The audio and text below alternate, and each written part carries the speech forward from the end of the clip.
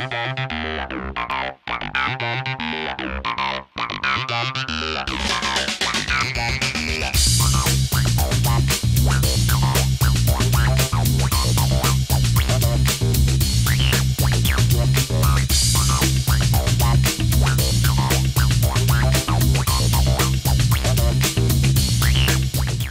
play was fantastic. It's a very brave effort for, for even staging this kind of a play.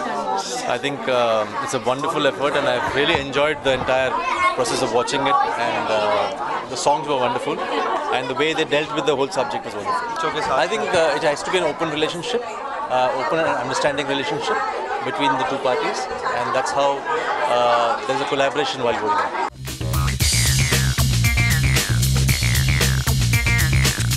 नहीं मैंने produce नहीं किया है आ, ये अंजू ने प्रोड्यूस किया है और त्रिशाला ने लिखा और डायरेक्ट किया है। और वो बोलते हैं कुछ प्रोजेक्ट्स हाथ से निकल जाते हैं, वैसा हो गया कि हाथ से निकल गया। इतना अच्छा आज मैंने देखा, इतना अच्छा है। I would love to produce it but they are the creators and they done a fabulous job actually मैं सेक्स एजुकेटर हूँ और मैं बच्चों के साथ काम करती हूँ। I do workshops for them on puberty and growing up so the thought was कि वर्कशॉप्स में मैं सिर्फ़ थोड़े बच्चों को रीच आउट कर पाती हूँ।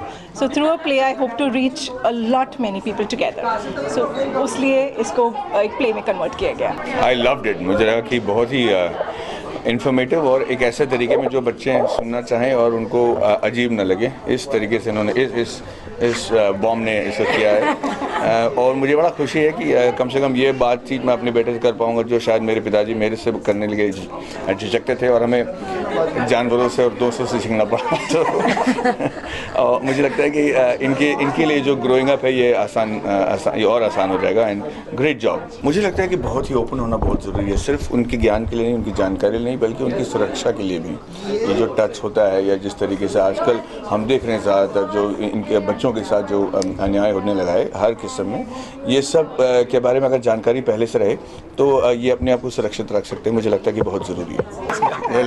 So we've already started writing.